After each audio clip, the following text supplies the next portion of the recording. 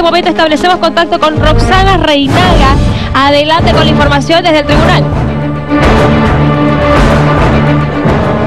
Nos encontramos en el Tribunal Electoral Departamental, hasta donde ha llegado, creemos, de esta manera, y es el panorama que se observa a esta hora de la noche. Nos encontramos en este momento con Erwin Bazán, jefe de la bancada de Creemos. Muy buenas noches, estamos en vivo para que no me pierdan.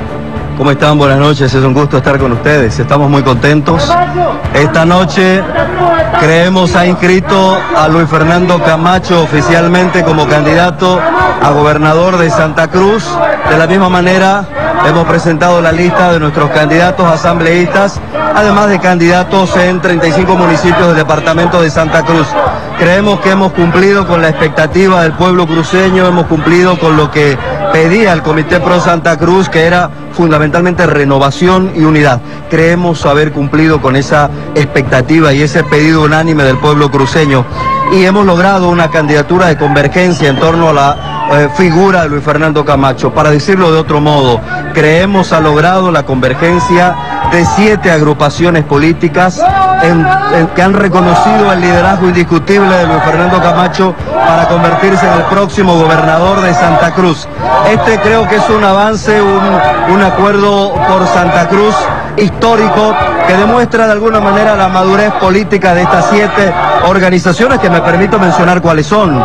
Pambol, Comunidad Ciudadana, NPC, PDC, eh, el Partido Demócrata eh, Social, está también Santa Cruz para Todos, siete organizaciones políticas que reconocen el liderazgo indiscutible de Luis Fernando Camacho para ir a la gobernación de Santa Cruz. Esto creo que es un avance para Santa Cruz y queremos haber cumplido en ese sentido. Candidato a vicegobernador, Mario Aguilera. Mario Aguilera es una figura eh, que viene primero del mundo empresarial, después lo acompañó Luis Fernando Camacho en el Comité Cívico Pro Santa Cruz y nos ha estado acompañando desde que iniciamos este proyecto, creemos, y creemos que es una figura que tiene que volcar toda su experiencia en la gestión pública. Candidatos para la alcaldía de parte de Creemos.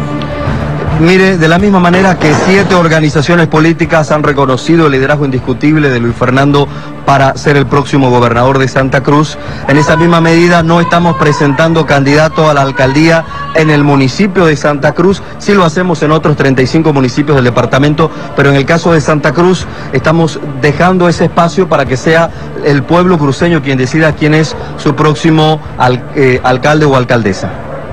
Creemos va a apoyar alguna candidatura de alguna alcaldía. Como le digo, si hay siete organizaciones que apoyan la figura de Luis Fernando a la gobernación, no es correcto que creemos se parcialice con ninguna de estas candidaturas a la alcaldía. Le tocará a la población decidir quién es el, el próximo alcalde o alcaldesa de Santa Cruz. Por ahora yo creo que le podemos presentar a Santa Cruz un acuerdo por Santa Cruz, eh, una convergencia de siete organizaciones políticas en torno al liderazgo y a la figura indiscutible de Luis Fernando Camacho. Aquí el principio que ha guiado todo este proceso es el principio de evitar la dispersión del voto. Creemos que con lo trabajado hasta ahora estamos ya a la mitad del camino, hay que consolidar ese trabajo eh, en la campaña, por supuesto, para convertir a Luis Fernando Camacho en el próximo gobernador de Santa Cruz. Y este trabajo, como he dicho, y creo que es bueno resaltarlo, es histórico, porque con esto estamos dando un paso importante para evitar la dispersión del voto en Santa Cruz. Muchísimas gracias. Ya escuchábamos la voz oficial Roxana. del jefe de la bancada de Creemos.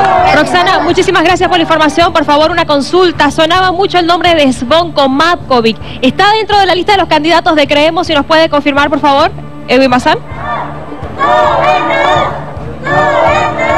Perdón, ¿nos puede volver a reiterar la pregunta, Calva? Claro que sí, Roxana, entendemos, por supuesto, hay bastante bulla en el lugar. Cuéntenos, sonaba mucho el nombre de Svonko Matkovic de cara a las subnacionales, por supuesto. Queremos saber si está este nombre dentro de la lista de candidatos de Creemos. Si nos pueden confirmar la información.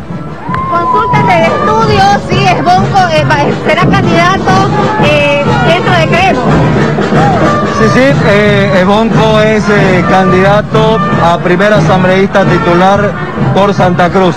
Creemos que su candidatura en la suplencia de la senaturía evidentemente eh, no es tan fundamental como puede ser su aporte en el caso de ser primer asambleísta titular por Santa Cruz. Muchísimas gracias. Ahí es como escuchamos entonces, candidato a primer asambleísta por Creemos, Evo, es Bonco Mancovi. Muchísimas gracias, Roxana Reinaga. Bueno, ahí está la información.